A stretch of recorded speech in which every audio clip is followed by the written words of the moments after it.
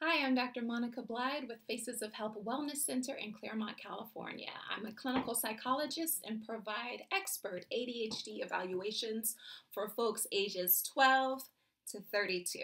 I am thrilled to share that I am now offering ADHD evaluations with a 100% virtual option.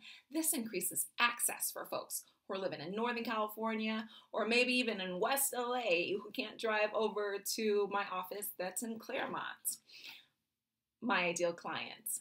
This is someone who is high achieving, who has uh, the ability to do well. It's up here, but the performance actually ends somewhere around here because of executive functioning issues, because of attention and distractibility issues.